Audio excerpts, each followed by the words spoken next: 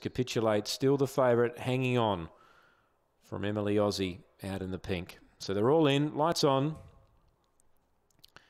Ready.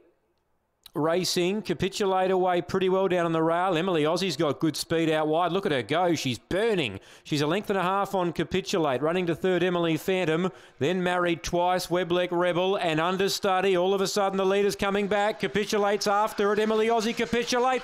Emily Aussie, I think, a nose to capitulate. Married twice, was right on their backsides. It'll get third. Uh, Emily Phantom fourth. For the back, Webleck Rebel, and understudy last in. Closey, but I think Emily Aussie will land the plonk here. Number eight, times around 17 even. She was in front. She got away with a big lead. She was getting reeled in, though, by Capitulate, and number eight hangs on. Eight's the winner. Emily Aussie, Jack Trengove was as much as 650 into 280. Lands the wages. Two second Capitulate. She was coming.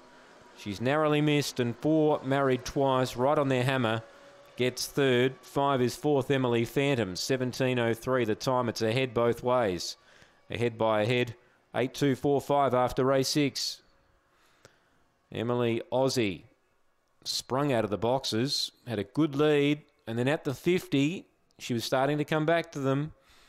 Capitulate was after her, and one more stride, married twice, might have had the pair of them. It was a good finish. 17.03 the gallop, 8.24 and 5 after race 6.